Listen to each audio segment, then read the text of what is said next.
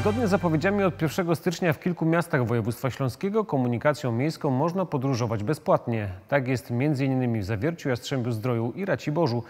O tym, dlaczego władze tych miast zdecydowały się na taki krok, Paweł Jędrusik.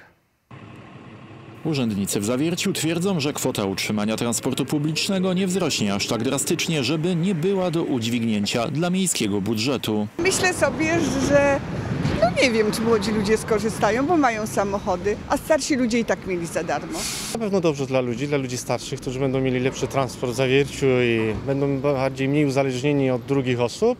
Mi się wydaje, że to jest bardzo fajna sprawa. Bezpłatnie można jeździć nie tylko w samym Zawierciu, ale także w sąsiednich gminach Poręba i Siewierz. Koszty obsługi całej, całej spółki wzrosną nam około 2 milionów rocznie.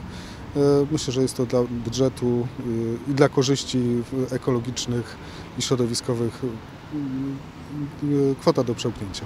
W Zawierciu wystarczy wsiąść do autobusu i tyle. Nieco inaczej jest w Jastrzębiu Zdroju. Tam bezpłatnie nie pojedzie każdy.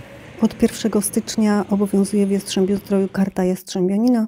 Każdy mieszkaniec miasta może na swój wniosek taką kartę otrzymać i wówczas przemieszcza się po terenie Jastrzębia Zdroju komunikacją za 0 zł. Być może to zbieg okoliczności, że w kilku miastach bezpłatna komunikacja wprowadzona została akurat teraz, ale za nieco ponad trzy miesiące mieszkańcy będą mogli nią dojechać na głosowanie w wyborach samorządowych.